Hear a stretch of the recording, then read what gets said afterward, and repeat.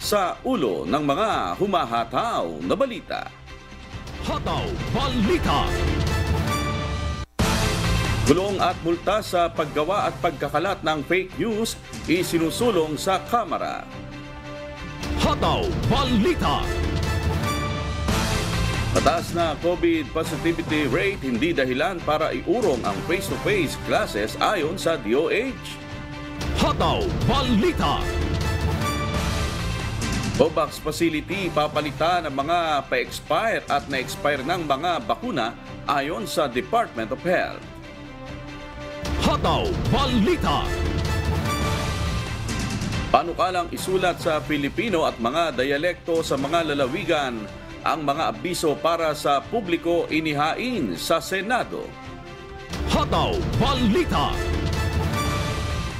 K9 na nakaamoy ng milyong pisong halaga ng droga sa Zamboanga City, hinangaan.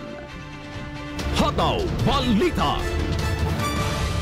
At sa ating patiking probinsya, tikman, paboritong exotic food ng Surigao City, ang saang. Hataw Balita. Una sa mga umahataw na balita, napapanahon na para magkaroon ng mas malinaw na definisyon ng fake news upang managot ang mga individual na nagpapakalat nito. Ito ang paniniwala ni Anwaray Party List Representative Florencio Bem Noel.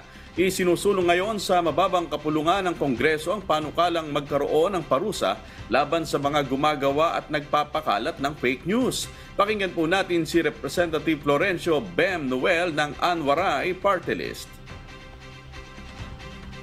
We don't want na ah, dahil lang sa isang share ng isang tao ah, na hindi natin alam kung ah, ang intention ba is may malis or wala, eh, magiging cause ng chaos. No? Ah, we just want to prevent ah, things like that to happen. Sa ilalim ng House Bill number 2971, aamyendahan ang Cybercrime Prevention Act of 2012 at isasama na ang pagpapakalat ng fake news sa criminal offenses. Pero hindi pa makapagpasya ang mambabatas kung isusulong din ang pagpapataw ng mas mabigat na parusa gaya ng hanggang walong taong pagkakakulong at multa sa mga mapatutunayang gumagawa at nagpapakalat ng maling impormasyon sa publiko. Pakinggan natin muli si Representative Florencio Bem Noel ng Anwaray Party List. I do not know kung ah, tama ang i- i- i- ilalagay natin na penalty pero as compared to ah, effect ng fake news hindi ba dapat matakot naman ang mga tao basta-basta na lang mag-propagate ng fake news mag-share ng fake news dahil kawawa naman yung mga inosenteng taong tatamaan nito at maapektuhan ito. For as long as may kakatakutan ng tao, uh, whether it's 2 months, 3 years, 10 years, Ayon naman ng mambabatas, iwasan na ang pagpapakalat ng fake news. Anya, lahat tayo ay biktima at hindi natin gugustuhing maging biktima rin ang mga inosenteng bata na masisira ang paniniwala dahil sa maling impormasyon at fake news. warning natin sa mga gustong magmarites para lang sa kanilang ah, baka personal satisfaction, no? Ah, mag-ingat tayo para naman hindi tayo makasakit. Mag-ingat tayo dahil lang mga kababayan natin, ah, dahil sa social media, madali tayo maniwala. We are all victims and we don't want that to happen to innocent children who are uh, meron direct access to social media who might uh, um, consider mga distorted facts as facts. Very damaging. Hataw Balita. Umaasa si Commission on Elections at Interim Chairman George Erwin Garcia na magtatalaga si Pangulong Ferdinand Bongbong Marcos Jr. ng isang Information Technology and Management expert sa COMELEC. Sa isang panayam, sinabi ni Chair Garcia na kailangan-kailangan nila sa COMELEC ang isang eksperto na may sapat na kaalaman sa larangan ng IT at computerization, gayon din ang kasanayan sa management at operations sa loob ng komisyon. Ginawa ni Chair Garcia ang pahayag kasunod ng nakatakdang pagre-retiro ni COMELEC Commissioner Marlon Casquejo sa darating na February 2025 o bago ang midterm elections. Ayon pa kay Garcia, masyadong kritikal ang 2025 dahil kinakailangan nilang magdesisyon kung ano na ang gagawin sa mga lumang vote counting machines at kung ano ang ipapalit sa mga ito. Hataw Balita. Samantala, hiniling rin ngayon ng COMELEC sa Kongreso ang mas malinaw na definisyon ng vote buying kasunod ng paghahain ng panukalang batas na layong gawing heinous crime o isang karumal-dumal na krimen ang pagbili o pagbebenta ng boto. Ayon kay COMELEC Ad Interim Chair George Erwin Garcia, mas magiging epektibo ang parusang ipapataw sa pamimili ng boto kung magiging mas maayos at malinaw ang kahulugan nito na naaayon sa kasalukuyang panahon. Dagdag pa ni Garcia taong 1985 pa na isa ang Omnibus Election Code kaya't maaaring hindi na akma ang ilang mga probisyon at parusang ipinapataw laban sa vote buying. Hataw Balita. Ipinapanukala ni Albay Representative Joey Salceda ang paggamit ng Tagalog and English o Taglish sa non-language subjects sa mga paaralan, partikular na sa Science, Technology, Engineering, and Mathematics o STEM subjects habang maigting na isinusulong ang kaalaman ng mga estudyante. Itong sagot ng mambabatas upang tugunan ang 91% learning poverty rate ng bansa ayon sa datos ng World Bank. Ayon kay Congressman Salceda, napapanahon na upang tanggapin na Taglish ang ginagamit sa media, national conversations at digital space ng Pilipinas. Kahit sa mga bahay-bahay, Taglish din anya ang ginagamit. Hataw Balita. Muling nagbabala ang Bangko Sentral ng Pilipinas laban sa smishing. Ang smishing ay isang uri ng phishing scam kung saan ang mga manloloko ay nagpapadala ng text message na hihikayati ng mga user na i-click ang isang link.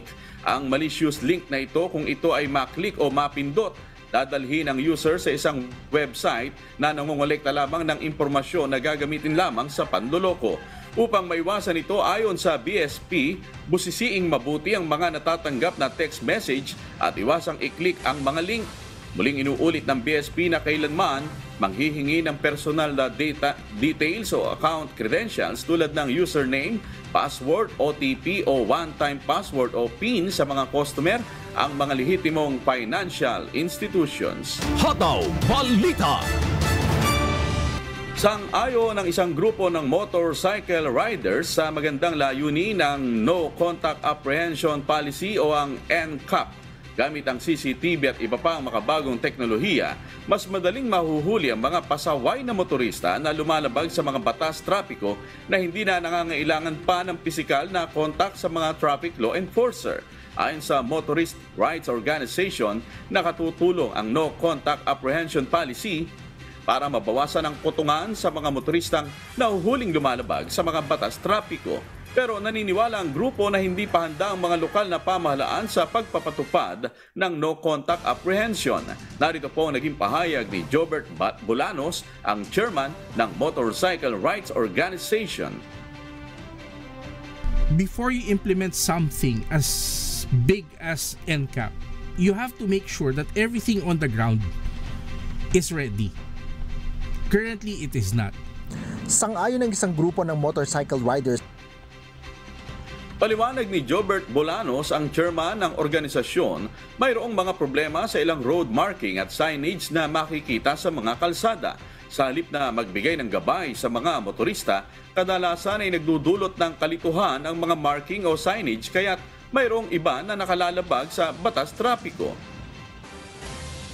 For example, uh, the rightmost lane is your turning lane, and then the second, third, and onwards, you know, you can use that lane to move forward. But some of the LGUs have changed the markings and turned two lanes into a right turn lane only.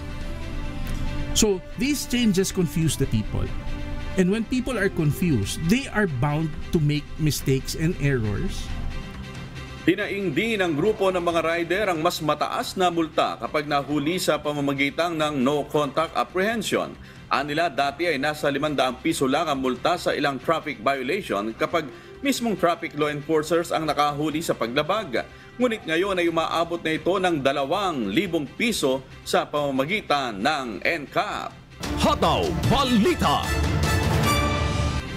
Kaugnay ng balitang yan, umaapila ang Land Transportation Office sa mga LGU na suspindihin muna ang implementasyon ng No Contact Apprehension Policy. Sa opisyal na pahayag, sinabi ni LTO Assistant Secretary Chopilo Guadis may nakikita silang kakulangan sa pulisiya na kailangan pang repasuhin. Isa sa mga ipinunto ng LTO Chief ay maaring mapatawan ng parusa ang may-ari ng sasakyan na siyang nakarehistro sa LTO gayong may posibilidad na hindi siya ang nagmamaneho nang mangyari ang paglabag. Nais ding mapag-aralan ng LTO ang posibleng maging regulasyon sakaling maibenta ang sasakyan sa ibang tao na hindi nakarehistro sa kanilang tanggapan paglilinaw ng LTO ang mga LGU ang siyang tagapagpatupad ng No Contact Apprehension Policy habang ang kanilang tanggapan naman ang siyang naglalabas ng notification sa mga sasakyang napapatawan ng parusa. Gate ng LTO, kailangang ayusin muna ang polisiya upang higit na mapalakas ang implementasyon nito at makatulong sa pagpapaluwag ng trapiko sa Metro Manila. Hataw Balita. Hindi inirerekomenda ng kagawaran ng kalusugan na ipagpaliban ang napipintong pagbabalik ng face-to-face classes sa naturang mga probinsya. Ito'y kahit pumalo na sa 64% ang positivity rate sa Capiz at 40% naman sa Aklan na malayong malayo sa itinakdang threshold ng World Health Organization na 5% lamang. Paliwanag ni Department of Health Officer in charge Dr. Maria Rosario Berhere, Tungkol sa positivity rate, kailangan ding tignan ang sitwasyon ng mga ospital at dami ng mga natetest sa isang lugar. Aniya may mga lugar kung saan maliit ang bilang ng natetest ngunit dahil halos lahat ay nagpo-positibo kaya tumataas ang rate. Pakinggan po natin si DOH-OIC Dr. Maria Rosario Berhere.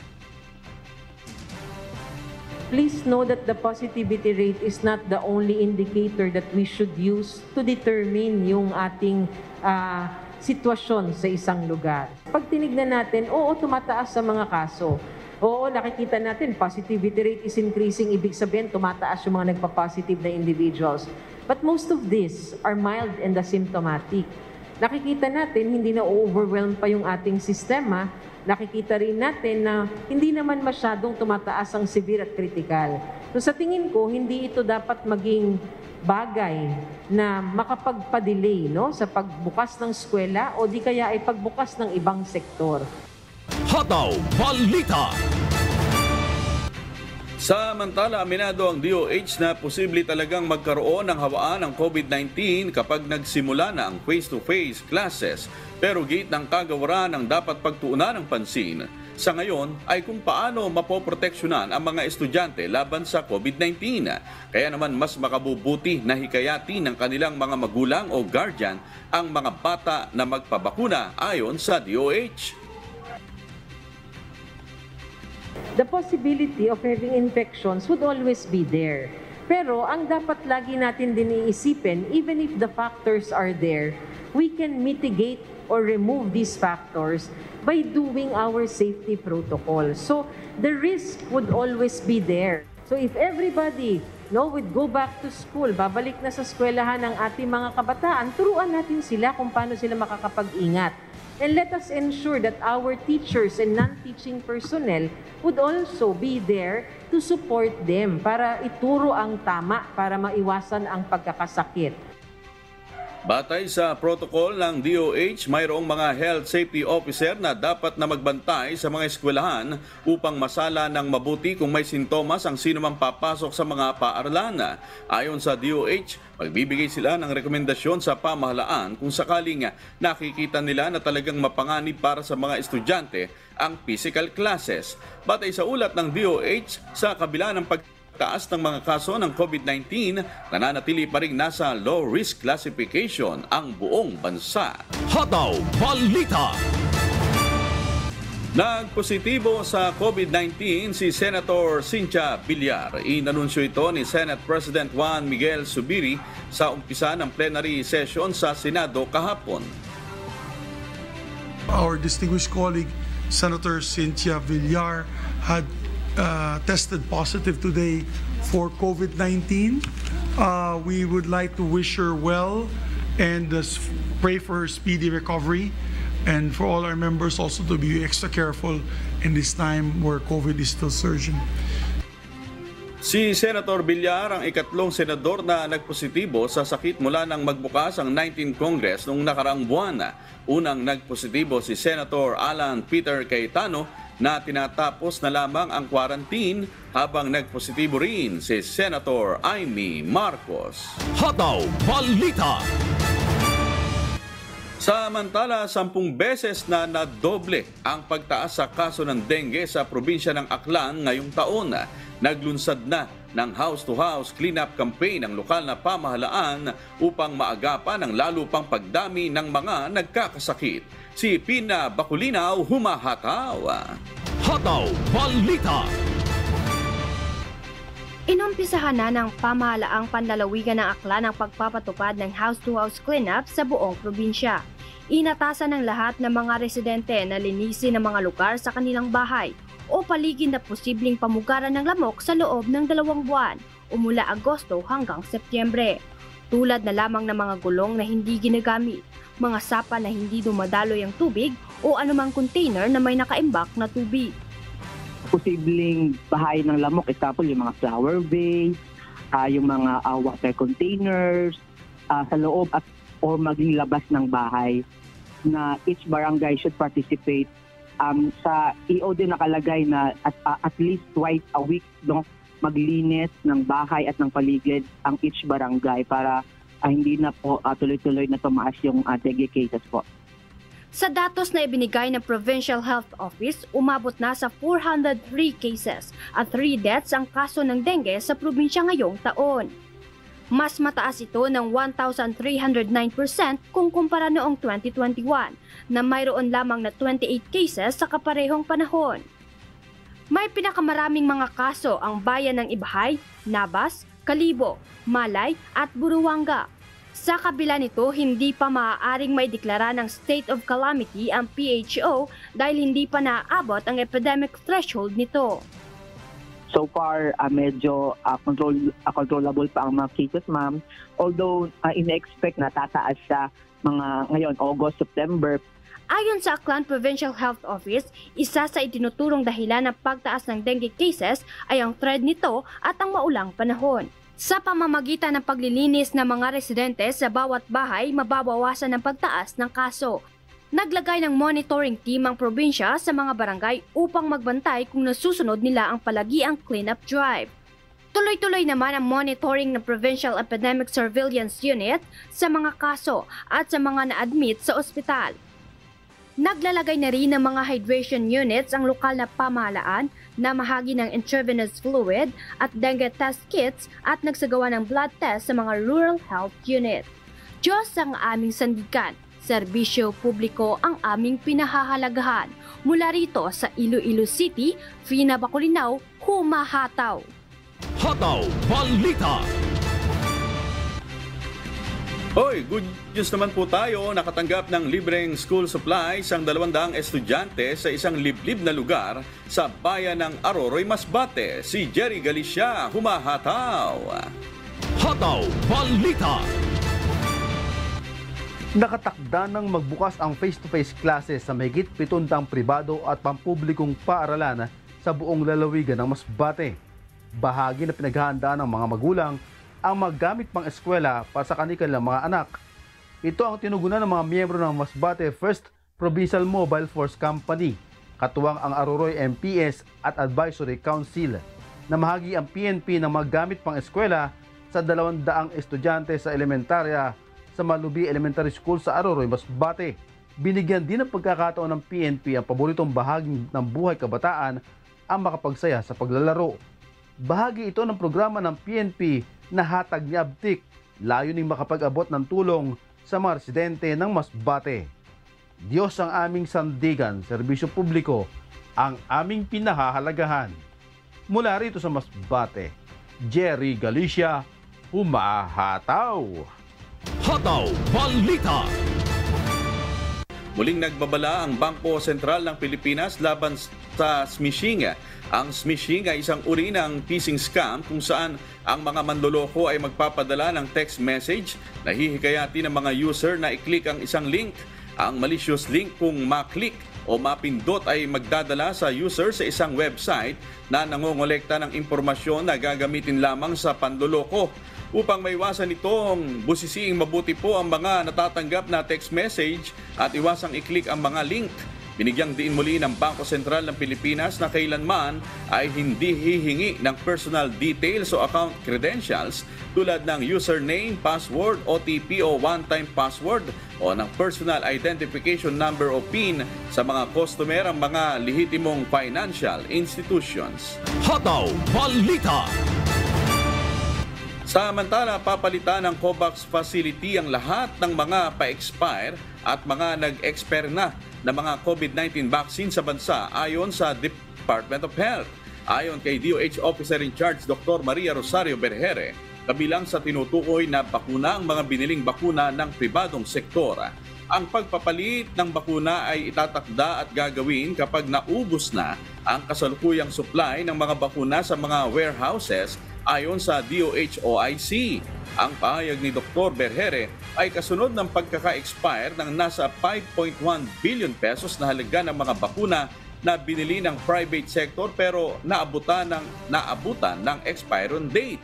Ayon kay former Presidential Advisor for Entrepreneurship Joey Concepcion, hindi na administer ng pribadong sektor ang mga nasabing bakuna bago ma-expire dahil sa tagal ng Health Assessment Technology Council o HTAC na aprubahan ang pagbibigay ng second booster dose sa mga Pilipinong may edad 50 pataas at may comorbidity.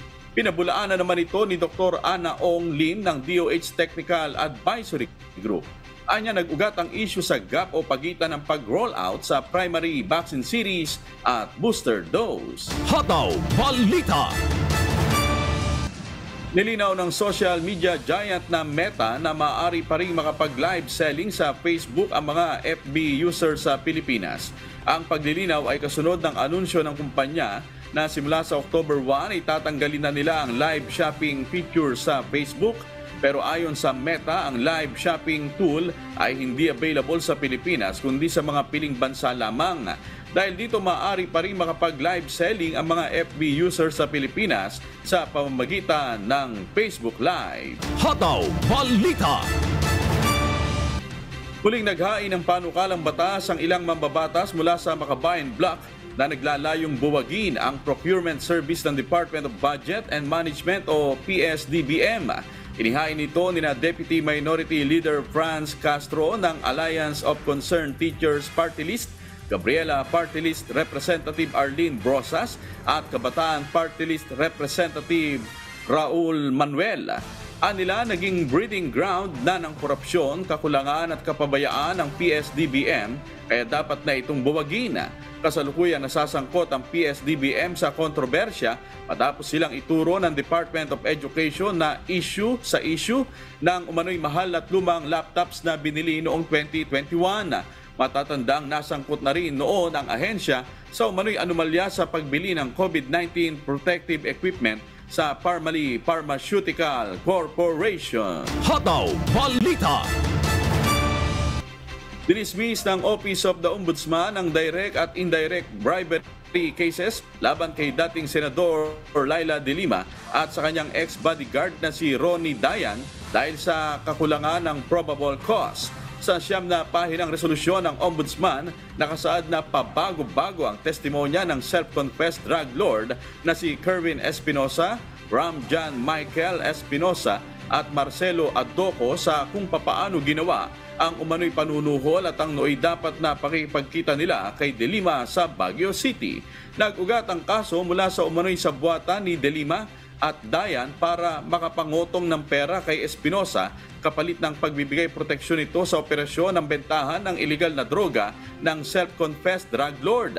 2016 nang tumistigo si Espinosa na si Delima ay parte ng illegal drug trade sa New Bilibid Prison habang siya'y umuupong kalihim ng Department of Justice. Inakusahan rin nito ang dating senadora na tumanggap ng 8 milyong piso mula sa kanya para sa senatorial campaign ni Delima. Pero kalaunan binawi ni Espinosa ang kanyang testimonya at sinabing pinilit at binantahan lamang siya ng mga pulis upang tumestigo laban sa former senator.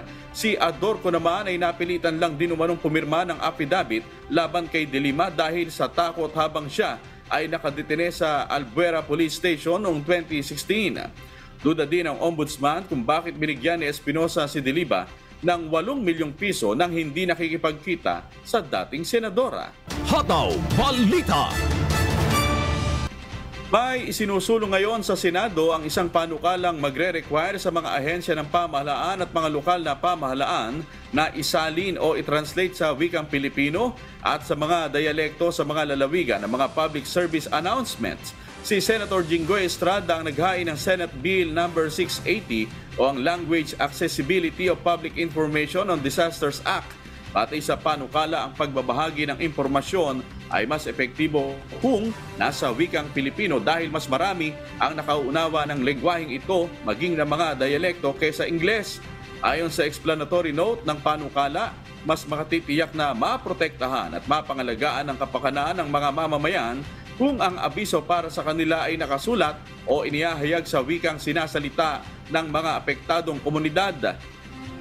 Ipinapanukala rin ang abiso na nakasulat sa wikang Pilipino at mga dialekto patungkol sa social amelioration programs, emergency assistance at iba pang social protection measures, disease outbreaks, security concerns ng militar at pulisya at mga man-made emergencies. Dagdag ng mambabata sa kanyang explanatory note, mas mahalaga sa economic laws ay ang panganib ng pagkawala ng buhay ng mamamayan dahil sa hindi sapat o hindi angkop na pagbabahagi ng impormasyon mula sa mga otoridad patungo sa kanilang mga nasasakupan sa panahon ng sakuna at mga kalamidad. Hataw Balita.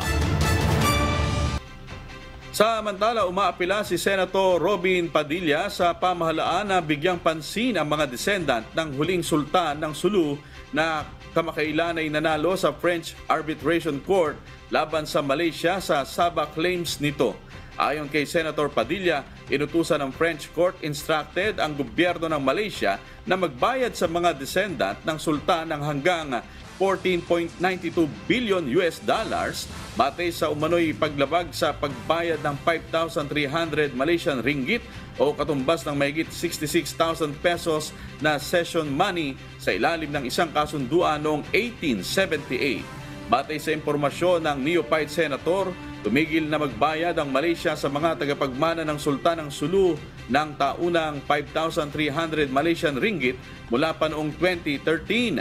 Ayon kay Senator Padilla, bilang mga Pilipino dapat gamitin ng pamahalaan ng Pilipinas ang kapangyarihan nito para matulungan ang mga tagapagmana ng Sultan ng Sulu. Ikinumpara ito ng bagong mambabata sa pagkilos ng pamahalaan sa claims o paggiit ng Pilipinas sa West Philippine Sea. Hataw Balita. Isang bagong special committee ang binuo ng mababang kapulungan ng Kongreso na tutu- tututok sa produksyon, paggamit at conservation ng nuclear energy kasama ng pagdevelop ng nuclear power infrastructure. Ito'y matapos aprubahan ng Kamara ang motion ni Senior Deputy Majority Leader Sandro Marcos para bumuo ng Special Committee on Nuclear Energy. Ayon sa Pres- Presidential Sun, kasama sa tututukan ng Special Committee ay ang pag-explore sa ibang energy sources kasama ng nuclear energy para sa maasahan mura at environment-friendly na mapagkukunan ng enerhiya. Si Pangasinan Representative Marco Huangco na isang matagal ng nuclear power advocate ang nahalal na chairman ng bagong komite. Hataw Balita. Samantala, pagdami ng mga kaso ng COVID-19 sa Cagayan de Oro, sanhi ay ibang variant ng Omicron ayon sa City Health Office. Si Weng Fernandez humahataw. Hataw Balita. Ito na ang pangalawang pagkakataon na bahagyang tumaas ang kaso ng COVID-19 sa Cagayan de Oro City ngayong taon ayon sa City Health Office. Inihayag ni Cagayan de Oro City Health Officer Dr. Richard Dilla na maaring ibang Omicron variant ang sanhi ng pagdami ng mga kaso ng coronavirus disease 2019 sa syudad.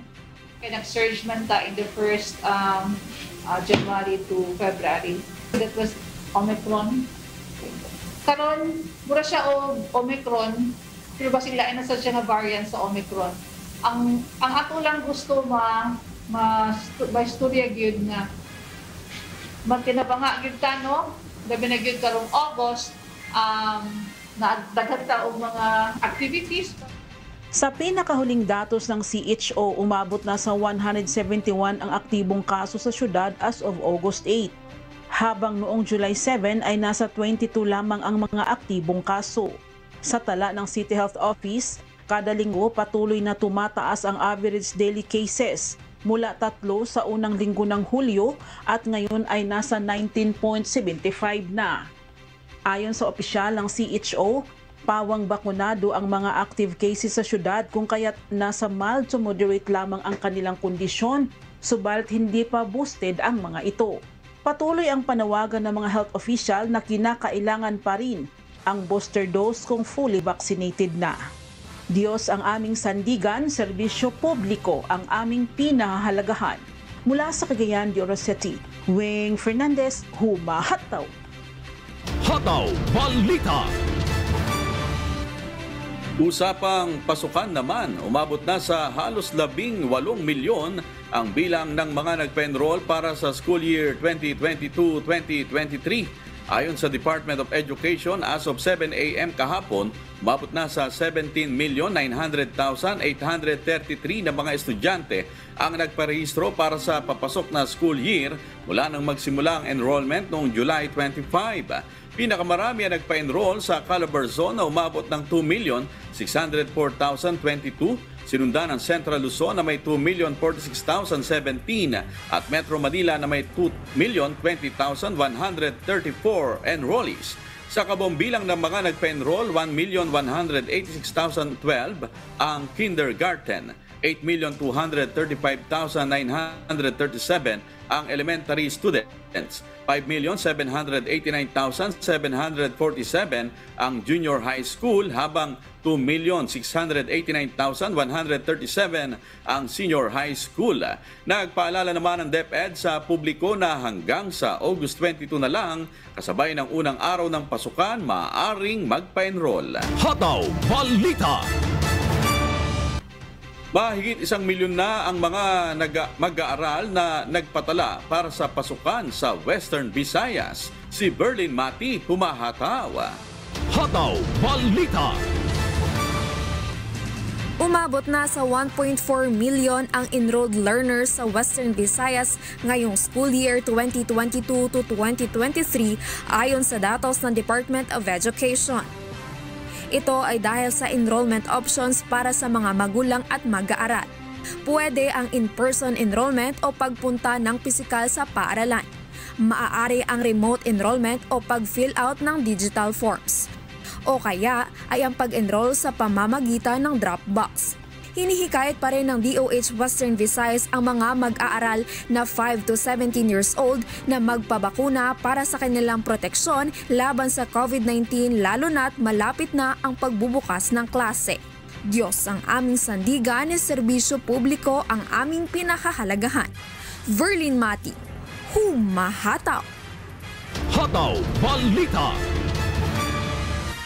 Nasagip ng mga otoridad ang 23 individual matapos lumubog ang kanilang sinasakyang motorbangka sa Magsaysay Occidental, Mindoro. Bon San Pedro humahataw. Hataw Balita. Lumubog ang sinasakyang motor bangka kahapon ng mga magkakaibigan at magkakamag-anak sa karagatang sakop ng Barangay Alibog, Magsaysay, Occidental Mindoro, pasado alas 4 ng hapon. Ayon sa Provincial Disaster Risk Reduction Management Office o PDRRM o Samarica, isang oras na nagpalutang-lutang sa karagatan ang mga pasahero ng nasirang bangka bago sila tuluyang nasagip. Unang rumesponde ang Philippine National Police Bagsaysay na sinundan ng PDRRM o Samarica kasama rin ng Bureau of Fire Protection, BDRRMC, MDRRMO at ilang residente sa pag-rescue. Pauwi na sana ang mga pasahero mula sa outing sa Garza Island nang tuluyang mabutas ang hulihang bahagi ng bangka na malapit sa makina. Mga pagkinabangan pa, marirepair pa naman po yata yun kasi butas na butas lang siya at tumubog hindi daw na kaya nila na limatin yung tubig. Since pauwi na daw po sila, kanina eh medyo kargado pa daw sila kanina kasi may mga pagkain sila ng karga, eh disgrasya daw talaga. Paalala naman ng PDRRM mo na iwasan munang mamasyal sa malalayong lugar, lalo na kung tawid dagat. Siguro ang maipapayo lang po namin sig- sa kanila ngayon, ah wag po sana siguro muna ngayon mag-outing sa lalo na yung ganyang malayo. Dahil nasa panahon na po kasi tayo nakabagat. Sa paghabagat po kasi malalaki po talagang alon. So, iwasan po sana muna. So, kung talagang hindi may iwasan na gusto mag-outing, ay baka pwedeng sa mga resort na lang muna, yung sa mga swimming pool, gano'n. Samantala, wala namang nasaktan o nalunod sa nangyaring aksidente. Agad na dinala ang mga ito sa pinakamalapit na healthcare facility para sa debriefing. Diyos ang aming sandigan, serbisyo publiko ang aming pinahahalagahan. Mula sa Occidental Mindoro, Von San Pedro, Humahataw! Hataw Balita. Nasa high-risk category ang tatlong barangay sa Davao City dahil sa dumaraming aktibong kaso ng COVID-19. Si Marisol Montaño humahataw. Hataw Balita. Tatlong barangay sa Davao City ang kasalukuyang nasa high risk sa COVID-19. Ang mga ito ang Barangay 13B, 16B at 34D base sa barangay classification ng lungsod mula August 8 hanggang August 13. Dahil dito, pinag-iingat ng lokal na pamahalaan ng publiko na pumunta sa naturang barangay upang maiwasan ang pagkahawa. Sa ngayon nakapagtala ng 510 na active cases sa lungsod.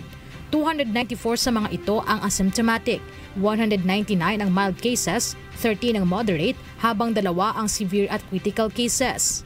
Dahil sa patuloy na pagtaas ng kaso, ay hindi tumitigil sa paghihikayat ang Davao LGU sa publiko na samantalahin ang libreng surveillance swabbing, lalo na yung mga nakaranas ng influenza-like symptoms at yung mga close contacts ng COVID-19 positive patients. Ayon sa lokal na pamahalaan, mahalaga ito para sa mabilisang pagtugon sakaling may magpositibo at para matukoy agad ang close contacts. Nananatiling bukas ang libreng swab testing sa Santa Ana Health Center COVID-19 Cluster Clinic, Crocodile Park Swabbing Site at sa Talomo River COVID-19 Cluster Clinic.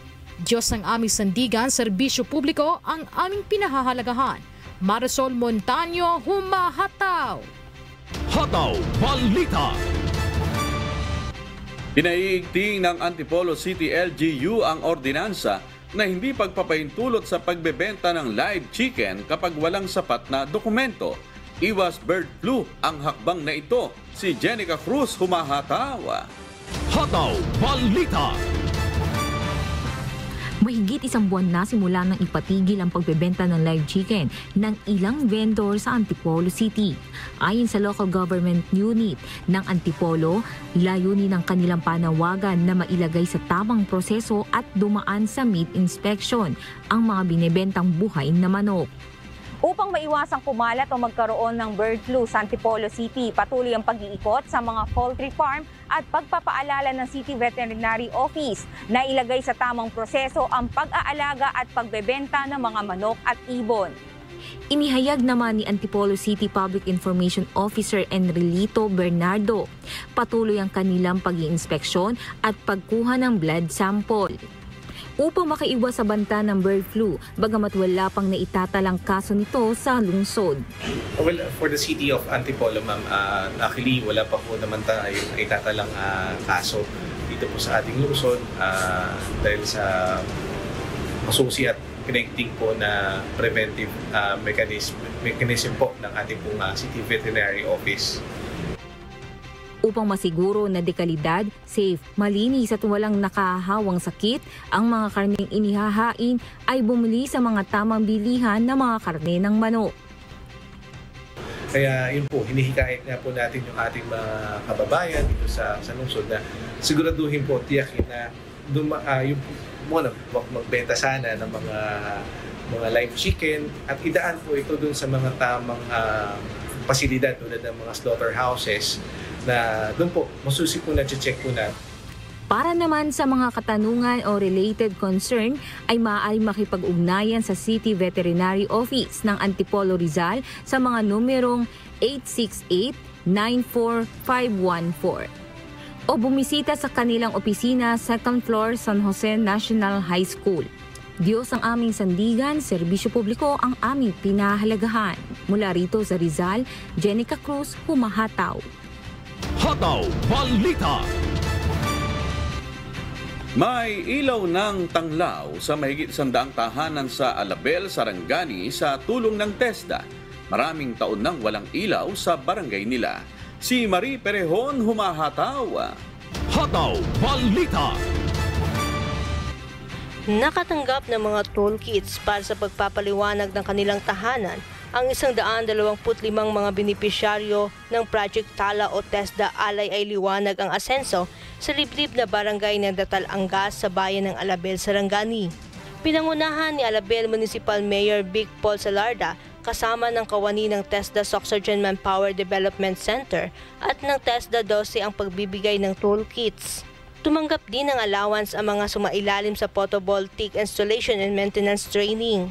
Bukod sa toolkits, nagbigay din ng livelihood assistance ang pamahalaan ng Alabel sa mga residente sa lugar. Plano ng LGU na palakasin pa ang edukasyon sa pamamagitan ng Alternative Learning School o ALS para sa mga indigenous people sa bayan. Nagpapasalamat naman si Mayor Salarda sa ginawa ng TESDA dahil ngayon ay posible nang magliwanag ang tahanan ng mga residente gamit ang solar panels matapos ang ilang taon na walang ilaw sa Barangay Datal Angas. Diyos ang aming sandigan, serbisyo publiko ang aming pinahahalagahan. Mula rito sa General Santos City, Marie Perehon, humahataw! Hataw Balita. Nasa isang libo at tatlong daang sako ng pataba ng palay ang ipinamahagi sa mga magsasaka sa bayan ng Coronadal City noong lunes. Katumbas ito ng nasa 3 milyong pisong halaga ng fertilizer assistance na para sa mga magsasaka sa iba't ibang barangay sa lungsod. Ayon kay City Mayor Attorney Eliordo Ogena, ang programang ito ay may layuning tulungan ang mga magsasaka sa pagtaas ng presyo ng fertilizer. Inaasahan namang tumaas ang kanilang produksyon. Ang programang ito ay naglalayong palaguin pa ang sektor ng agrikultura sa Coronadal City. Hataw Balita. Naniniwala ang ilang magulang na makabubuti sa mga kabataan na magpirmi sa tahanan sa ilalim ng panukalang nationwide curfew. Maging ang ilang minor de edad sa Central Luzon, payag na magpirmi sila sa bahay tuwing 10 oras ng gabi. Si Nestor Torres humahataw. Hataw Balita. Magiging malaking kabawasan sa alalahanin ng construction worker na si Mang Wilbert kapag tuluyang naisabatas ang isinusulong na panukala sa Kamara na magpatupad ng nationwide curfew sa mga menor de edad o mga kabataan mula 17 anyos pababa. Anya, pabor ito sa kanya dahil may dalawa siyang anak na babae na 7 at 17 taong gulang. Iwas din sa barkada. Kasi yung mga barkada, minsan may tinuturong di maganda. Kahit sino namang magulang nag-aalala sa mga anak eh. Lalo sa ganyang panahon na masama yung na- nangyayari ngayon sa Pilipinas. Nasa bahay lang, safety pa sila. Kesa nasa labas, nag-aalala ka. Dahil marami po makikinabang. Okay, hindi lang po yung mga kabataan, pati po yung mga magulang. Ang ibang mga magulang sa Central Luzon sang-ayon din dito. Ayon sa kanila sa nakalipas na dalawang taon ng pandemya, maraming kabataan ang nailayo sa gawang masama nang mapirmi sa bahay. Ayon sa ilang magulang, kung walang curfew, posibleng marami na namang kabataan ang malulong sa kalayawan. magiging pabor sa akin kasi magiging panatag ang kalooban ko, ang mga anak ko, anak ko eh makikita ko sa loob ng pamamahay hindi sa lansangan. Mas maganda nga yun eh, para ano, yung mga bata talaga, hindi natatambay sa labas. Lalo na yung panahon ngayon, talagang ano, maraming sakit na kumakalat. Gusto namin yung pag gabi na tahimik na yung mga bata. Yung huling bata ngayon, yung masyadong palibot sa gabi. Kasi las 10 sa las 11 niya, naglalakad pa. Hindi nila alam kung uh, madidisgrasya lang sila. Lalo na maraming ano ngayon, maraming nagkakalat na balibalita na maraming nawawala. So kung may curfew, nakakaiwas sila. Hindi sila masasangkot. Maging ang ilang pinuno sa pulisya, pabor din sa panukala. Anila, kailangan ang mga ganitong batas, lalo pat marami na ring mga menor de edad na nasasangkot sa iba't ibang uri ng krimen, kabilang ng iligal na droga at mga bisyo gaya ng sugal, paninigarilyo at pag-inom ng alak na minsan ay nauwi pa sa karahasan. sa akin pong uh, pananaw bilang isang uh, nagpagpatubad ng batas ay uh, isang malaki pong uh, pabor para po sa kayusan ng ating pamayanan, para po sa pagbawas po ng ating uh, kriminalidad at posibleng maging krimen. Mas mailalayo natin sila sa mga bisyo, sa mga barkada sa gabi na hindi sila mapahamak. Kaya gusto ko rin po yung anak ko na mga minor, eh, pagdating po ng gabi, nasa bahay na. Ay naman sa Municipal Administrator ng Kapalit Pampanga, mula nang binawi ang curfew dahil sa pagluluwag ng COVID-19 restrictions, ay may naitala na naman silang mga paglabag sa batas na sangkot ang mga menor de edad. Actually, the, with the lifting of the curfew, nagkaroon ng uh, kaso ng mga children in conflict with the law. So, uh, ayaw na nating matagdagan sana itong mga ito. At mismo ang ilang minor de edad na nakausap ng UNTV News and Rescue, pabor sa panukalang curfew mula alas 10 ng gabi hanggang alas 5 ng umaga. Masama rin yung epekto ng walang curfew dahil nag-iiba yung ugali mo pag nasasama ka sa ibang ibang tao na ala naman sa ala naman sa ayos. Pabor po ako da- sa curfew dahil makakaiwas po ang iba't ibang kabataan sa sugal, sa bisyo at sa panindigarilyo, pagra-rugby. Dahil po ang iba't ibang kabataan ay nagagawa yun dahil sa puyat, dahil walang magawa sa gabi. Minsan sa magulang, nagbarumbado. Opo, para sa kaligtasan na rin ng mga kabataan. Pwede po sila ma-hold up, ma-kidnap, at iba pa po pwedeng mangyaring masama. Mag-ingat kayo, huwag na kayo maglabas-labas ng gabi dahil di nyo alam ang mangyayari sa inyo tuwing gabi. Opo. Para ano, para nasa tama yung ano, yung paglabas ng mga bata kasi hindi naman pwedeng lumalabas sila ng ating gabi. Pwede silang mapama kasi hindi naman natin alam yung mga ano eh, ibang tao kapag may masamang balak. Hindi natin sure kung yung makikita mo sa daan kung mabait ba yun o hindi. Pwedeng mapahamak ka. Umaasa naman ang mga kabataan na sa lalong madaling panahon ay maisakatuparan ito para sa kabubuti ng mga kabataan na sinasabing pag-asa ng bayan. Diyos ang aming sandigan, serbisyo publiko ang aming pinahahalagahan. Nestor Torres, Humakataw! Hataw Balita! Ito naman, Kristiyano, kahanga-hangang K9. Bumuhos ang paghanga mula sa mga netizen at sa lokal na pamahalaan ng Zamboanga City para sa K9 dog ng Philippine Drug Enforcement Agency. Nakatuklas ang aso ng milyong-milyong pisong halaga ng iligal na droga. Si Bal Villaflor humahataw. Hataw Balita! Pinasalamatan ng mga Sambuangenyo at ng pamahalaang lokal ng Sambuanga ang kahangahangang nagawa ng K9 Dog ng Philippine Drug Enforcement Agency o PIDEA sa lungsod. Ito'y matapos na maamoy at upuan ng K9 Dog ang nasa kalahating kilong ipinagbabawal na gamot sa Sambuanga City International Airport, Kamakalawa. Nakatago ang hinihinalang shabu sa isang plastic container na binalutan ng budbud ng niyog. Ang package ay mula sa Maluso, Basilan at nakatakda sanang ipadala sa Quezon City. Nakilala ang sender ng package na si Farhana Madi. Tinatayang aabot sa 3.4 milyon pesos ang halaga ng iligal na droga. Ito na ang pangalawang beses ngayong taon na may naharang na iligal na droga gamit ang K9 dog sa syudad. Noong Hulyo 5, naharang ng K9 dog ng Philippine Coast Guard na si Bunny ang nasa 210,000 halaga ng iligal na droga sa paliparan ng lungsod. Diyos ang aming sandigan, serbisyo publiko ang aming pinahahalagahan mula rito sa Sambuanga, Sibugay. Val Villaflor, Humahataw. Hataw Balita! Sa iba pang balita, arestado ang isang tricycle driver na tulak umano ng iligal na droga sa buy-bust operation ng Camarines Norte PNP kahapon. Kinilala ng mga otoridad ang suspect na si Alicio Sereno, 51 anyos, taga-barangay Borabod, Camarines Norte. Nakumpiska sa suspect ang mahigit 5 gramo ng hinihinalang shabu na nagkakahalaga ng mahigit 35,000 piso.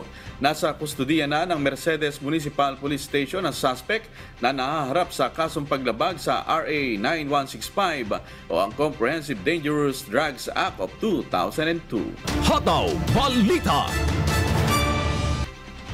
Idinaray ngayon ng mga residente at mga motorista sa Masantol, Pampanga ang baha pero hindi dahil sa patuloy na pag-ulan kundi dahil sa high tide. Si Leslie Widem humahataw. Hataw Balita. Dalawampung barangay ang binahana dahil sa nararanasang high tide sa bayan ng Masantol, Pampanga. Ayon sa Masantol Local Disaster Risk Reduction and Management Office, bagamat wala pang bagyo ay may pagbaha naman dahil sa tubig na nanggagaling sa Manila Bay. Bukod dyan ay catch basin din ng tubig na galing sa Nueva Ecija at Pampanga River ang Masantol. Gayun din, ilan sa mga barangay ay itinuturing na critical areas na binabantayang coastal areas gaya ng Isla sa Pangkawayan, Nigi, Sagrada, Bagang, Balibago, Santa Lucia, Matwa at Santa Lucia, Wakas. Yun po, madali po silang bahain talaga. Madali, uh, very much, uh, very susceptible po sila sa flooding. Most of our main roads were passable naman po and our bridge, uh, wala naman pong nasira. Minsan hanggang dito pa nga yung tubig, oh. Nasanay na kami pag maano yung tubig yan, yan. Hanggang dito yung tubig. Wala pang bagyo yan. Lalo na pag yung ano na, matas na mataas, wala na. Yan lang ano namin. Ngayon, pag wala talagang choice na talagang wala madanan, tigil mo naman sa, sa pasada. Hindi ka makakapag-hanap buhay pag malaking tubig sa bahay. Kawawa yung mga bata. Dahil sa mga pagbaha ay apektado na rin ang mga palaisdaan dito. Kung mapapansin ninyo, ganito nakataas ang level ng tubig dito sa Masantol Macabebe area. Ito ay dahil sa high tide. At kapag nagkaroon pa ng habagat at ng bagyo ay mas tataas pa ang level ng tubig na ito na dumadating pa dito sa may main road. Tiniyak naman ng uh, Masantol LDRRMO na nakabantay sila sa level ng tubig sa pagtaas nito upang kung may mga kababayan natin na kailangang i-rescue o evacuate sa kanilang mga area ay gagawin nila. Nakahanda naman ang kanilang uh, operation center 24-7. Ayon sa LDRRMO Masantol, nakahanda ang personnel kung may mga darating na bagyo at kailangang ilikas sa mga barangay. Nakahanda rin ang mga kagamitan at sasakyan sakaling tumaas pa ang level ng tubig. Uh, flood prone po kami. Usually, dinagawa po namin dito. Ina, uh, nag-activate po kami ng Operation Center 24-7. Uh, continuous uh, coordination po with the higher agencies like the PDRRMC and the OCD or uh, Office of Civil Defense. Continuous din po yung coordination namin sa mga nasasakupan namin.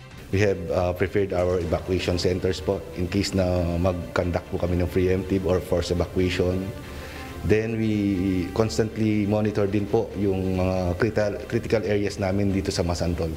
Specifically yung mga low-lying areas po. Then uh, we have also prepared and standby our uh, uh, DRRM uh, disaster vehicles and equipments po, tsaka yung aming response team.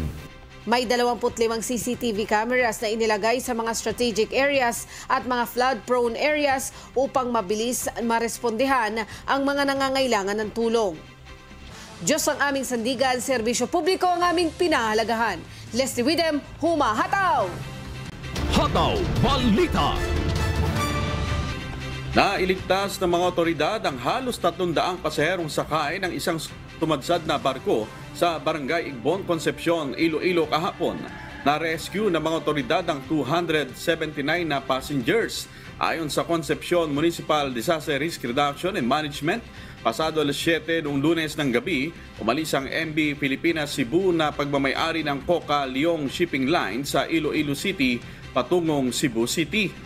Ngunit pagdaan nito sa baybaying sakop ng Concepcion, bandang alas 11 na ng gabi, nagkaroon ng human error ang barko kaya hindi nito nasunod ang kanyang orihinal na ruta at tumama sa mababaw na bahagi ng islang barangay. Wala namang residente na nasugatan o mga bahay na nasira. Tumama lang ang barko sa bato. Wala ring butas ang barko, hindi nagkaroon ng oil spill. Pinagkalooban naman ng pagkain ng Philippine Coast Guard at ng lokal na pamahalaan ng mga pasahero tulad ng canned goods. Pasado alas 5 na ng hapon kahapon nang maihatid ang mga pasahero sa kanilang destinasyon. Isa sa ilalim sa underwater survey ng Marina ang MB Pilipinas Cebu bago payagang makabiyahe pabalik sa pinanggalingan nito. Hataw Balita.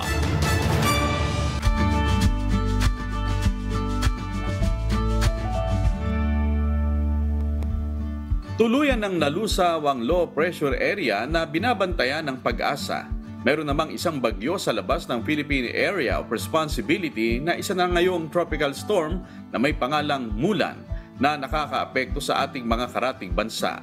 Ang active tropical cyclone sa labas ng Philippine Area of Responsibility ay nasa 880 kilometers sa bandang kanlura ng Northern Luzon. Ang direksyon naman nito ay north-northwestward sa bilis na 20 kilometers per hour. Dulot naman ang habagat, katamtaman hanggang malakas na ulan ang mararanasan sa Ilocos Region, Zambales, Bataan, Kalayaan Islands at posible sa mga lugar na ito ang flash floods o mga pagguho ng lupa. Sa Metro Manila naman, ang iba pang bahagi ng bansa ay bahagyang maulap hanggang maulap na papawirin at isolated na pag-ulan, pagkulog, pagkidlat naman ang iiran. Pagdala po ng pananggalang sa ulan, laging sumabaybay sa abiso ng pag-asa o ng mga lokal na otoridad. Ingat, kasambahay. Lagi nating tandaan, sa bawat araw na ating masisilayan, ay magpasalamat sa Diyos na may lalang. Pagkain, trivia, inaabangan, kultura, at iba pang makikita. Patikim Probinsya. Sa ating patikim, isang lugar sa Mindanao ang talagang dinarayo ng mga turista hindi lang dahil sa mga sikat nitong tourist attraction, maging ang ipinagmamalaki nilang exotic food. Si MJ Vasquez may patikim.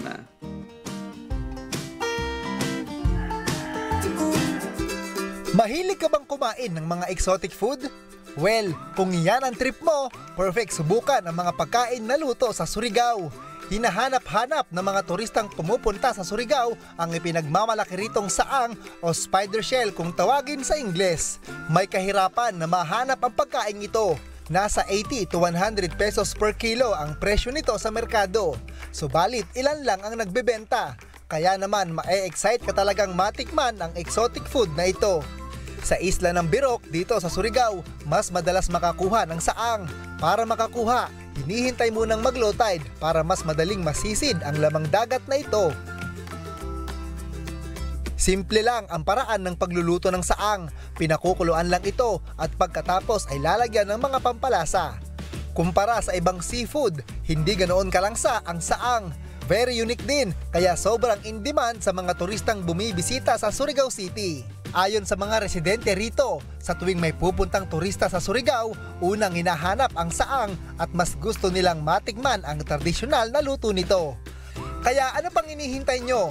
Tara na't bumisita sa Surigao City, mag-enjoy at tikman ang exotic food na saang. Diyos ang aming sandigan, serbisyo publiko ang aming pinahahalagahan. MJ Vasquez, Pumahataw! Hataw Balita. Saan pala ang tawag doon, Christian? Kasi nung nagpunta kami dati ng uh, Romblon, yan, sa may Balogo, sa Romblon, kasama ang Romero family, ay uh, nangunguha kami niyan sa tabing dagat din, saan pala ang tawag. Masarap yan, atin niya, ano, inihaw din. Tsaka syempre, pagka may gata.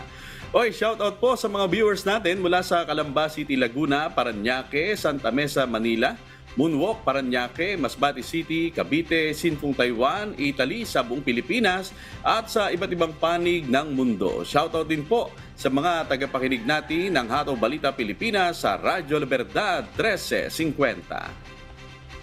At Christian, tayo ay uh, nag-aanyaya sa ating mga kababayan sa nagpapatuloy na mass indoctrination ng MCGI. Mamaya pong alas 7 po ng gabi Philippine Standard Time at mapapanood po yan sa official MCGI social media accounts. Kabilang po ang MCGI channel, ang official YouTube channel ng Members Church of God International. Patuloy rin po namin kayong inaanyayahan na makiisa sa Global Prayer for Humanity tuwing lunes hanggang biyernes alas 9.30 ng gabi. Ito po ay naka-stream ng live sa lahat ng MCGI social media accounts. Ang Global Prayer for Humanity ay bukas po sa lahat, anuman ang inyong relihiyon o lahi. Mga kasangbahay, kung meron po kayong balitang hindi ninyo napanood o kaya ay may nais kayong muling panoorin sa Hataw Balita Pilipinas, bisitahin lamang po ang aming mga official social media account. I-like at i-follow ang UNTV News and Rescue Facebook account at i-click ang subscribe button sa UNTV News and Rescue YouTube channel. Mapapanood nyo rin po rito ang iba pang news programs ng UNTV, pati na ang iba pang videos na nag-iisang public service channel. Kaya, subscribe, like, and share. At sa aming ibabahaging mga salita ng Diyos na ating sandigan, mula sa unang Juan, Kapitulo 3, talatang 16. Dito'y nakikilala natin ang pag-ibig, sapagkat kanyang ibinigay ang kanyang buhay dahil sa atin. At dapat nating ibigay ang ating mga buhay dahil sa mga kapatid.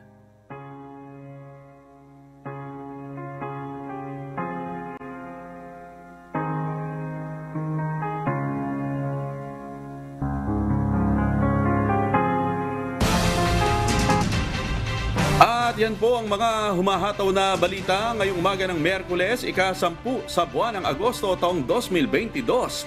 Sa ngalan po ng lahat ng bumubuo ng UNTV News and Rescue at ng UNTV Radyo Libertad 1350 ng ating mga correspondent mula Luzon, Visayas at Mindanao.